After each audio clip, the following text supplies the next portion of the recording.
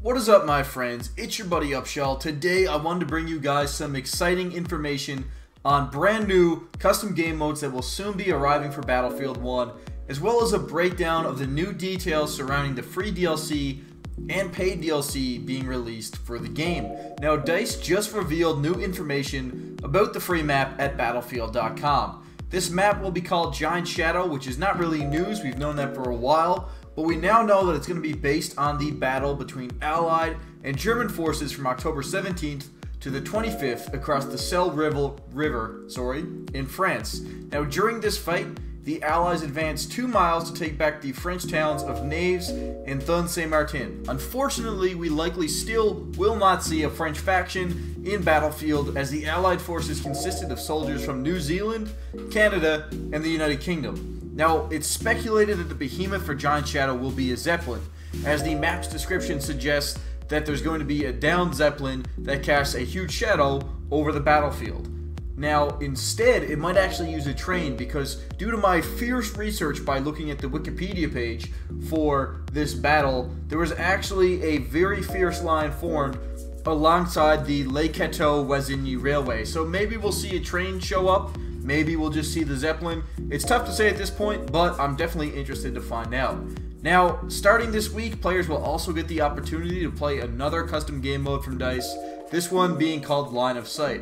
This will play out like a regular rush mode, with the exception that Medic and Scout will be the only classes available. And just to make things a little bit more crazy, they're going to throw in double bullet damage to top it off. Now, I think this is going to lead to an absolutely insane amount of medic trains where people are just going to revive each other like crazy. And I really owe this to the double bullet damage, actually, before anything else. Because while scout rifles will be made a one shot body shot kill at all ranges, they already are pretty powerful. And some of the rifles, like the Dirty Henry Martini, Martini Henry, I said that wrong but anyways, some of the scout rifles are already one-shot kills.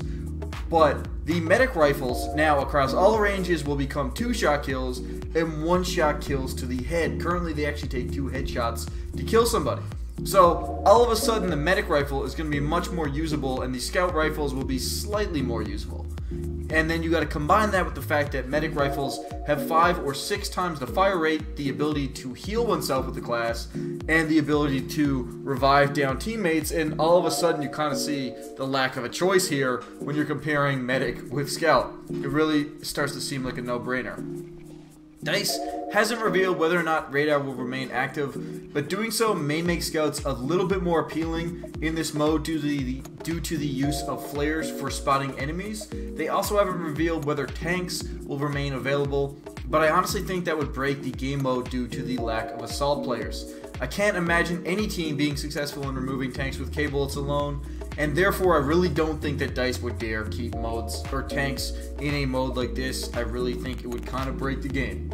Now, to get into the news that will affect those who look to shell out 50 or more dollars to DICE for the Premium Pass, DICE has now revealed that the Premium Pass will come with 16 maps, with 4 maps launching for each map pack, which is pretty much the standard for a Battlefield game. I'm pretty relieved by this, mostly just comparing it to Star Wars Battlefront, where I kind of may have bought the season pass and really, really did not like how it turned out. The content was just not near enough, in my opinion, for a, a pass that cost me $70 Canadian.